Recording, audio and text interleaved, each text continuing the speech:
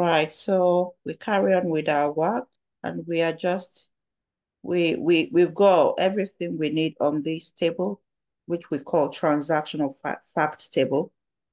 Um, and we know for each quantity that was, each product that was bought, we've got quantities. We also have the unit cost and the unit sales price. So we need to calculate what the total cost would be, what the total sales would be, then we can know the profit. And then we can move on from, from there, okay? So um, units, our total cost would be, we multiply quantity here by, by the, this one, and um, I'm just going to commit that. Um, and we have that, okay? So we multiplied quantity by, by the cost to get the total cost, basically. That's what this, this is saying. So the same would we would do for total sales.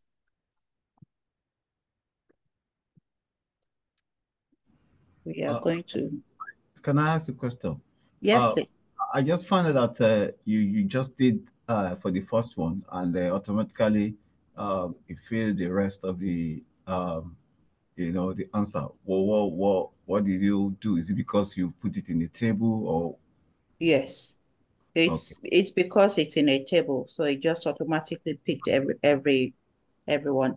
Um, but if it didn't, all you just need would all you would have needed to do would be to, to um, come to that first one and yeah. just double click when you have that plus sign.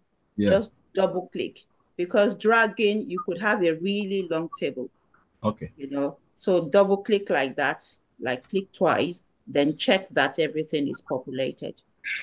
Um, because again, when you double click, if, if there was a gap somewhere, double clicking would would fill up up to uh, where there is uh, a stop in the data. So if there was a gap somewhere, that could be the end of it. That's why it's good to check and be sure that everything is actually actually populated.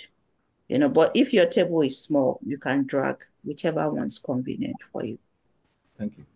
You are welcome. So let's um, multiply equals quantity again, multiplied by the unit sales now. And I'm just going to commit that. And we have and we have that as well.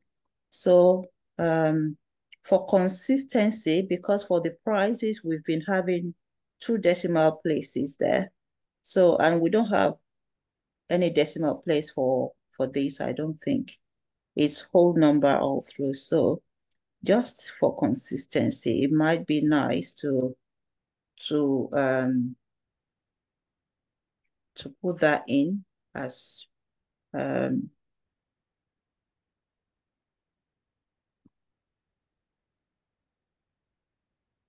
okay.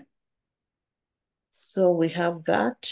Um, then we can mode, uh, we can uh, find our profit now very easily.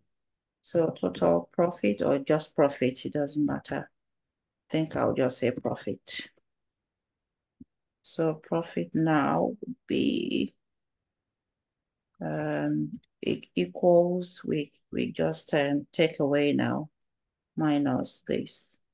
And I'm just going to comment that. And we have our profit. So we are getting somewhere. Uh, this is an auto save, so we are fine. If you're not um, on auto save, it's good to save your work so that you don't lose any work that you know you, you would have done.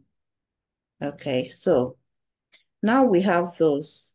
We have total sales, total profit, profit margin, and we want these to be displayed by um by you know this. We want the KPIs as well as that. You know, okay. What do you think we should do with the profit margin? What, what should we do with the profit margin? As the Should we calculate it in here or do it in within the pivot table? What's your take? We can also calculate it here. Okay. Sorry, sir. I thought they say you're on, you're on your way. When did you arrive? You are you are you are not muted, or celebrant. Oh, are you talking to somebody in class? Okay. I thought you were on your phone or something. I'm talking to Mr. Ferdinand. I mean, Mr. Francis. Mr. Fra- Mr. Fra- Mr. Francis. gbà mí lọ́wọ́ yín. Ẹ ti pọ̀ lórí mi. Mr. Francis. Mr. Francis. Yes. Oh, it is well. Uh, don't mind me. Right. So profit margin now would be profit divided by sales price, I believe. Correct me if I'm wrong. You are correct. So we divide that um, by sales and then we just make it into a percentage, basically. Um, that's interesting. Uh, let's see if, I don't think that would help, but let's see if making it into a percentage would, would help. Ah, how is that? So I divided this by this. How is that one? You multiply by 100. You need to multiply by 100. Yeah, I, I know. I'm just Yeah, if you looking at the multiply by answer. 100, you're still going to get 100. Exactly. Um, so No, oh, something is wrong. there. supposed to. So the, the answer is what I'm querying now. The answers we're getting for So is what I'm querying. Because uh, can someone use a calculator? If we do 116.64 divided by 1412, that cannot be right. It should even be less than 1. It should be. So what what happened? I Um, think you did profit over profit, wow. Did I? Probably. Ah, yeah, I did. I did. Like I see. Yeah, you see. I did. Yeah. Okay, thank you. So it was profit over this, not profit over over profit. That's not what we need. Okay. All right, that looks a lot better. Then we can we can decide to percent the the the the whole column really.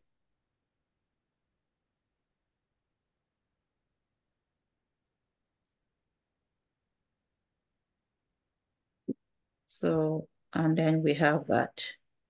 Okay, so we have all of those in. Um, it's it's always a good practice to look through So, and so just for learning purpose, yeah. can you explain why profit margin is that formula?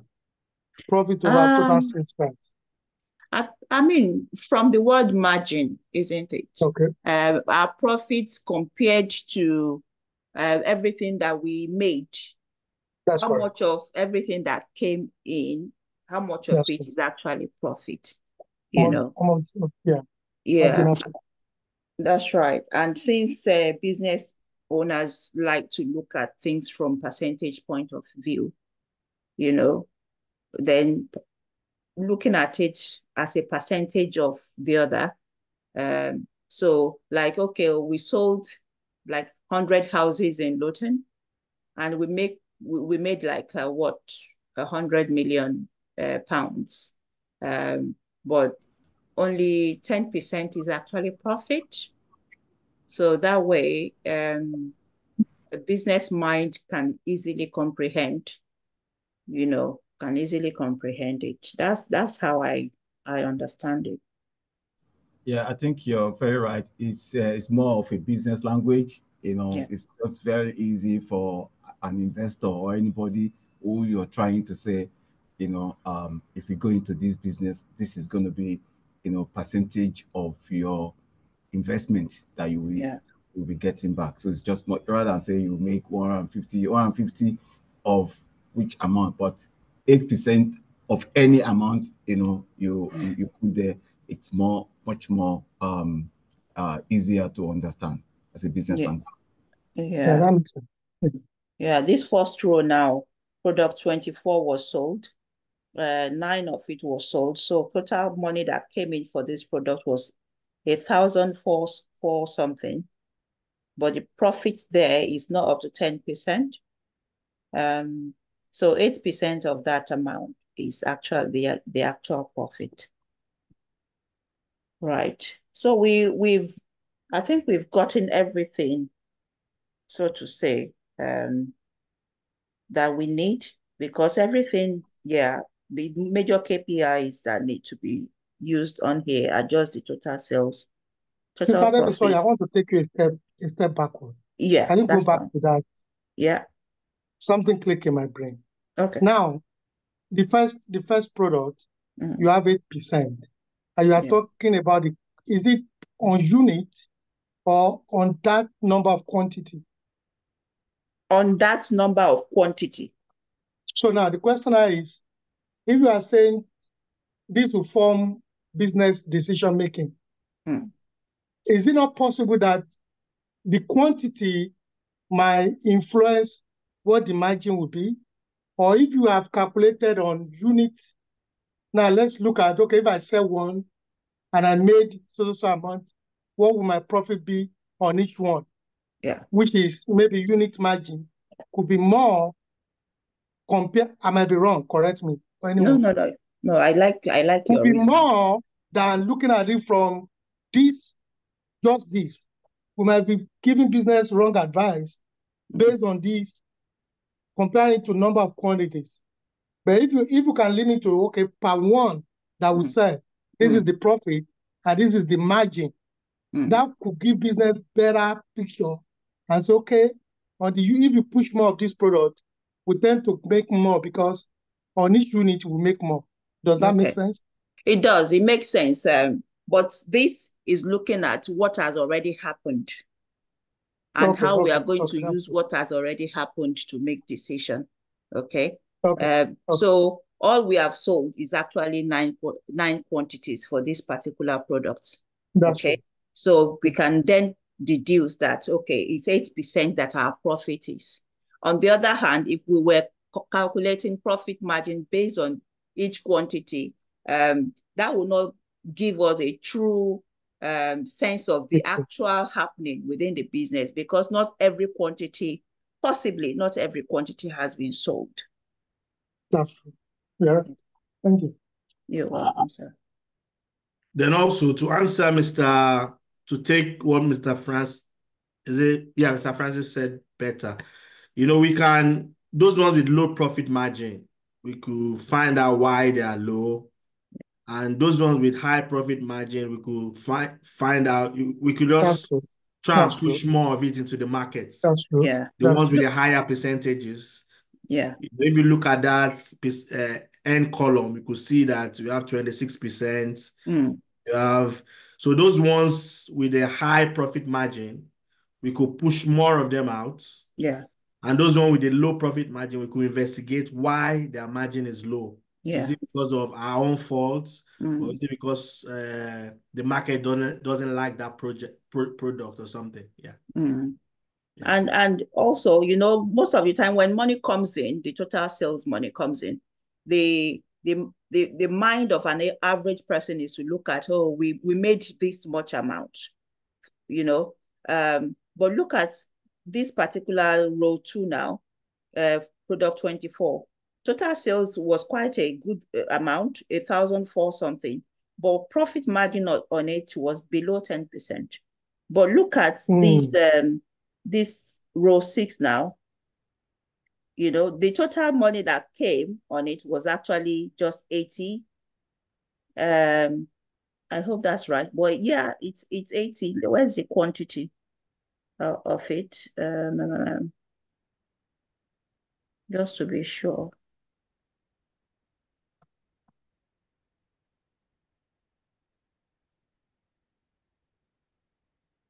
So I want to look for the quantity and then be sure that that should actually be 80. Okay, so we've got 12 in quantity that was sold. Okay, unit cost, unit price is that much. So the total money that came in was actually just 60, you know, but it's telling us that um, the profit margin is actually 25%. Okay, so my uh, my suggestion then would be that this costs little to stock up, you know, it costs little compared to the, the row one. It, it also costs little to sell, you know. So should we be buying and selling more of that you know, it looks like that is giving us more profit, you know, compared to how much we spent stocking this, um, this one.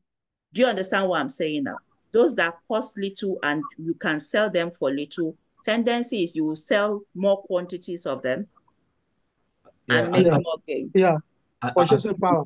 Yeah. Yeah, I think the, the business decision there, um, there, there, there, there's so many ways that um, uh, a business can look at it. Yeah. Uh, the business will want to will have a certain amount of capital, and they want to and they want to spread their money. You understand? And then you can look at it that okay, we, this product is a bit uh, uh, it's less. We can we can buy this number of product, Yeah. and then we can sell this number, you know, of product. However, in that kind of business, you know that uh, for you to be making good profit, you have to rely on a high volume because because because the, the you know the, the, the profit margin and the and and the, and and and, um, and the amount is small. Somebody look at it that you know what will rather invest um, uh, put our money on on a product that is high but that, that give us high return. Even if you're then you might you don't need to sell volume. Even if you sell two or three of that product you're good. Um a good example is you can buy a car for example for that, that costs 1000 pounds and you can only sell it for 500 pounds. But you go and buy a car that costs you 10,000 pounds but you can sell it for 15,000 because of the brand of that car because of what that car worth. So that car you can you can just your business vision will be to sell just two if you can sell just two of that car you're good. But if your big if your decision is that you don't have enough cash flow understand? So the, the little cash flow you have you want it to go uh, further then you can think that uh, okay maybe it might be good at, uh, idea for me to invest on i mean to to, to focus on small smaller costs but Mhm. i know that uh, i will need to rely on a large volume for me Yeah. to make good return on my investment Yeah. So that's the beauty of, you know, thank you very much, uh, sir, for that explanation. That's the beauty of um, looking at the profit margin, isn't it? 10,000 um, worth of car going for 15,000. That pro profit margin is quite high. So if, if I'm to, you know, put that information into Excel and work it out, I would know that, okay, I'm actually going to focus my energy more, you know, on this that is bringing more money. It also would depend on timing, you know, uh, how long did it take me for me to be able to sell that car? Within that period, was I able to sell like the, the, the lower cost cars, like more quantities of it? And, you know, eh, quite a lot of things, um, decisions going on, uh, which with time, historical data would point you, you know, as a business in the direction of what to do. Um, and these these decisions they change over time as well. It's not really constant.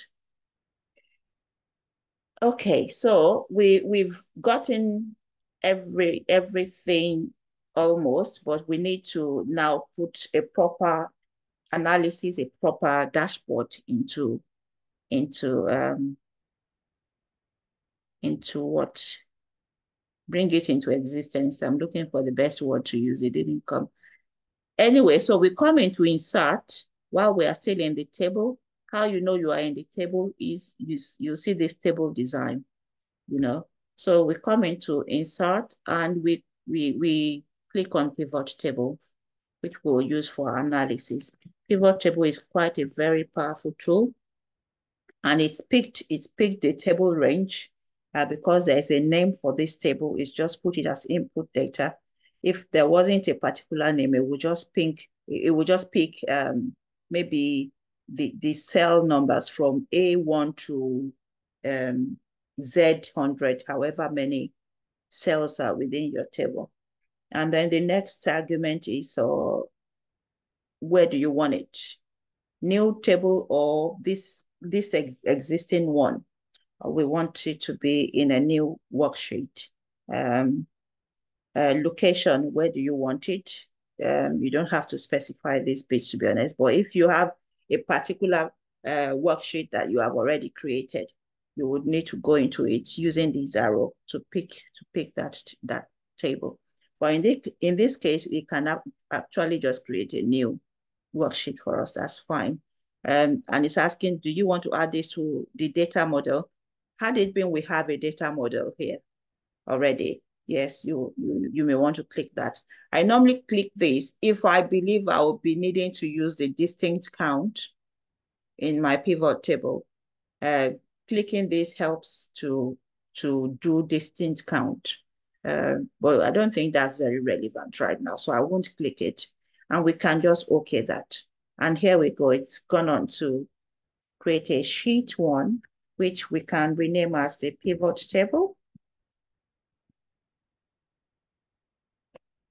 Okay, and then then we can go into our business business requirement. I'm just gonna move this pivot table maybe to the last last um, one here. And yeah, so uh, we can you know, move between um, the business requirement and the and the and the pivot table. So we need the total sales, the total profit, and the total and the profit margin. I'm quite curious on how that profit margin is going to pan out. But the first thing I normally do is to come here and sort this A to Z so that I can easily pick. Um, I don't have to be looking for tables when they are when they are scattered. So um, I need total sales, total profit. So I'm going to uh, I'll click as um, cost, sales. Did it say cost though? Or am I just being doing over Sabina? Uh, profit my, I don't think it's asked for cost. No, it didn't. So I'm going to remove that cost because it did not ask for it. So total sales um, and profits, profit itself. So we can click on the profit. Um, and I'm going to, I want the profit margin to be the last. So I'm going to drop this like that just to, just to rearrange. Okay. Uh, most of the time, the decimals, uh, they don't really count. Let me see if I can do this all together.